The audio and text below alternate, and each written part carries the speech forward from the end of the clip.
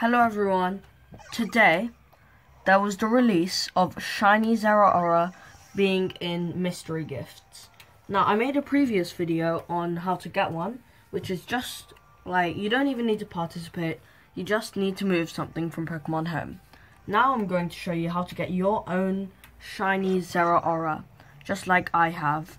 And it's quite a curious Zeraora because my Cinderace seems to think that it is funny, but it seems to be afraid of my Cinderace, even though it's a mythical Pokemon. That's very strange. And so now let's quickly go on to the mobile app of Pokemon Home. To receive it, go on to Mystery Gifts after opening the menu. Obviously, I have not received the Armorite ores, which is why it's prompting me to. So you're gonna then open the gift box and it'll say, congratulations, we hit our first target, target and we'll get a special Zeraora for our team. Now it doesn't show it shiny, but it actually is shiny. And it says that the compatible game is Pokemon Home, but it is actually available to be put in um, Pokemon Sword and Shield. And you can also, if you had one left over from the Alola region, you can also put in your old one from there because it's existing in the game data. You can also get your Armorite ores as they give you a code that you would type in on the mystery gift menu. Now obviously, I'm now going to quickly show you how much Armorite ore you will get. So we're gonna press Armorite Ore, and you get 8 because 2 million trainers did not defeat it, so we don't get 10, but we get 8, which is still pretty cool. Now let's quickly review its move set. So the moves that it's gonna know once you catch it are going to be Plasma Fists, which I'm gonna quickly show you.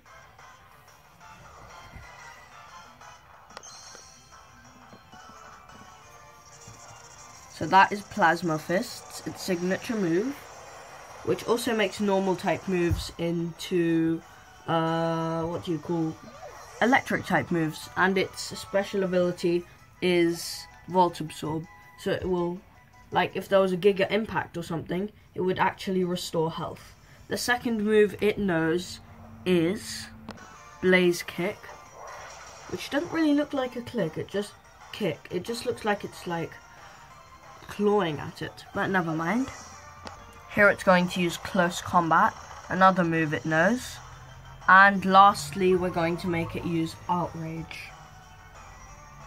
And it also comes level 100. So, if you're early on in the game, I wouldn't recommend putting it on your team. Mostly because it's not going to listen to you. So we're going to use Outrage. Because that's like another move on its move set. Now, there's something interesting about the Zeraora that you claim as well. For once, they actually, well, they're going to give you uh, a ribbon with it. So you can go and check its summary. And it shows you that its original trainer was Pokemon Home, which is quite strange. It also, its ID number I don't think it's the same for everybody. It's shiny. Its IVs aren't the best. I haven't changed anything there. Okay. And it comes in a cherish ball. And this is, mine is hasty by nature. It met its original trainer, Pokemon Home, when it was level 100. The date was today, which is when I click, what?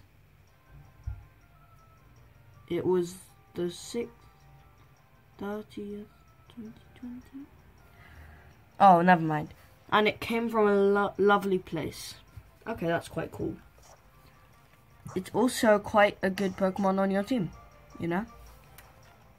Another great thing about Zeraora is that it's not um it's not on your Pokedex. That's not really great, but it can kind of help you this fact because you don't need to go and fill your Pokedex again to get the curious crown that you get for doing it. As I have a crown on my league card over there. And I've done both of the, what do you call, um, what are they called? Uh, Pokedexes. I've registered both of the Pokedexes. It's pretty cool. Also, it will show you that you've found another shiny Pokemon, which is quite good as well. So, guys, thank you for watching. Oh no, the Sharpedo is interrupting. Thank you for watching. Please like and subscribe to my videos for more content like this. I hope you enjoyed and if you don't know exactly how to become eligible for this and it's not turning up, then I'll show you that as well. Remember to get it before July um, 7th if you're in England, but the day before if you're in um, America. So guys, thank you for watching. Bye.